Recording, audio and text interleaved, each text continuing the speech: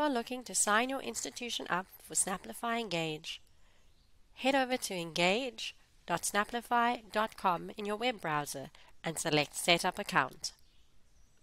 If you're a parent or a student you're looking for your school's Engage instance, select the arrow and follow the prompts.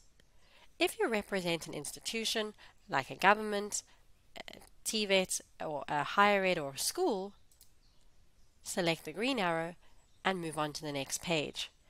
Here you'll need to tell us which description best describes your organization. Make your selection and provide a name for your institution.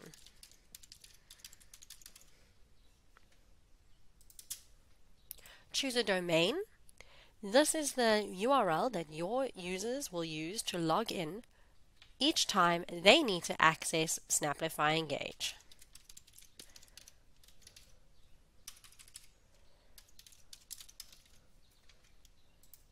Tell us your phone number. This is the phone number of the institution. Your country and what province, state or region you're located in. One last thing, which description best describes your role at the institution? This is to make sure that when we reach out to support you, we reach out with the most appropriate communication. From here, you'll select Continue. If you already have an account with Snapplify, you will then be asked to sign in.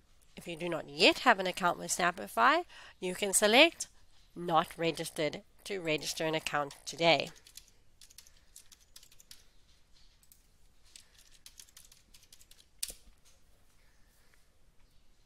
Select Let's Go.